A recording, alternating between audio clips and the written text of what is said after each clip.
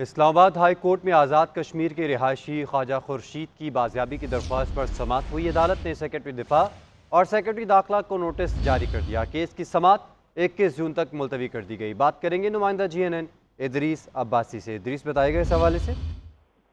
جی بالکل دیکھیں، اسلام آباد ہائی کورٹ میں جو لاپتہ شہری جو ہے اس کے حوالے، اس کی بازیابی کی زائد درخواست جو ہے، اس پر سماعت ہوئی ہے۔ آزاد کشمیر کے جو شہری خواجہ خورشید ہیں اس پر، اس کی بازیابی کے متعلق درخواست پر سماعت جسٹس محسن اختر کیانی نے کی ہے اور اسلام آباد ہائی کورٹ نے جو ہے، وہ سیکرٹری دفاع سیکرٹری داخلہ سمیت دیگر فریقین کو نوٹسز جاری کرتے ہوئے آئندہ سماعت پر جو ہے، وہ جواب طلب کر لیا ہے۔ وکیل کی استدا کی گئی کہ عید آ رہی ہے، آئندہ سماعت عید کے فوری بعد جو ہے، وہ پہلے ورکنگ ڈے پر جو ہے وہ رکھ لی جائے جس پر عدالت نے کہا کہ میں عید کے بعد ایک ورکنگ ڈے دے رہا ہوں تاکہ آئندہ سماعت پر جو ہے وہ رپورٹ آ جائے رپورٹ آنے دے رپورٹ آنے سے پہلے کوئی آرڈر جو ہے وہ نہیں کر سکتے جس پر عدالت نے سماعت ایک جون تک ملتوی کر دی۔ جی۔